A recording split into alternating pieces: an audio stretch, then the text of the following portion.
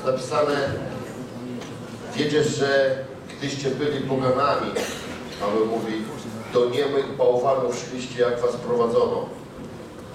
Paweł przypomina Koryntianom o tym, że kiedy nie byli odrodzeni z Bożego Ducha, to nie funkcjonowali samodzielnie. On mówi, byliście prowadzeni. Gdzie byliście prowadzeni? Do niemych bałwanów. Bałwanów, które nie mówią. Dlaczego szli tam, gdzie nie słyszeli nic? Bo byli głusi. Głuchy nie potrzebuje kogoś, kto mówi. Paweł informuje ich o tym, jaka jest różnica między tym, co jest z nimi teraz, a co było kiedyś. I mówi, nie zapominajcie, że byliście poganami i do niemych bałwanów szliście. Dzisiaj wielu ludzi odrodzonych z Bożego Ducha próbuje wyprzeć to, że nie byli nigdy ludźmi, którzy nie słyszeli duchowo. Ludzie próbują to wyprzeć. Starają się zapomnieć. Myślą, że słowa, które mówią, aby pozostawić przeszłość za sobą, to są słowa, które mają spowodować, że z naszego umysłu wywietrzeje fakt, że kiedyś nie byliśmy narodzeni z Bożego Ducha. Ale jak człowieka wywietrzeje fakt, że kiedyś nie było, że kiedyś nie, że, że nie był narodzony z Bożego Ducha kiedyś, to potem jest ogromny problem z tym, aby docierać do ludzi, którzy są z tego ducha nieodrodzeni. Patrzy się na nich z góry, przygląda się im jak dziwakom. Rozumiesz? No przecież kiedyś byłeś taki sam. Taki sam. Nie dziw się, że idą do niemych bałwanów. Nie dziw się temu. Nie gniewaj się na to, że idą do niemych bałwanów. Nie gniewaj się, że świat tkwi w bałwochwalstwie. Nie gniewaj się na to. Nie gniewaj się na tych ludzi, że nie znają Boga. Przestań traktować tych ludzi jak wrogów. Bo to nie są wrogowie. To są pacjenci. Świat to nie wrogowie. To pacjenci. Pacjenci. Rozumiecie? I trzeba przyjąć postawę lekarza, żeby do nich iść. Bo ich trzeba wyleczyć, a nie zabić. Wyleczyć. Ja dawno przestałem się dziwić, że ludzie, którzy nie poznali Jezusa, idą do niemych bałwanów. Nieważne jakich. Grzesznik grzeszy i się cieszy. To jest normalna sprawa. Dlaczego Wam o tym mówię? Dlatego, że chciałbym jeszcze bardziej nas wszystkich rozpalić dla ratowania ludzi z tego świata na rzecz Królestwa Bożego. Chciałbym, żebyście jeszcze mocniej w sobie ugruntowali fakt, że po to tutaj jesteśmy na ziemi, aby tych ludzi ratować. Po to tutaj jesteśmy. Taki jest nasz cel. Rozumiecie? Naszym celem nie jest wrzucenie diabła do czeluści. To nie jest nasz cel. Naszym celem nie jest naprawa tego świata. Naszym celem nie jest propagowanie dobra na tym świecie. To nie jest nasz cel. Naszym celem jest ratowanie tych pacjentów, którzy idą na zatracenie. Rozumiecie? Wczoraj byliśmy na marszu. Uwielbialiśmy Boga na ulicach Warszawy. Głosiliśmy ludziom Chrystusa. Ludziom, którzy patrzyli często na nas jak na nienormalnych. Ale to tak jak pacjenci patrzą na lekarza, który stawia diagnozę, który mówi, co trzeba. Rozumiesz?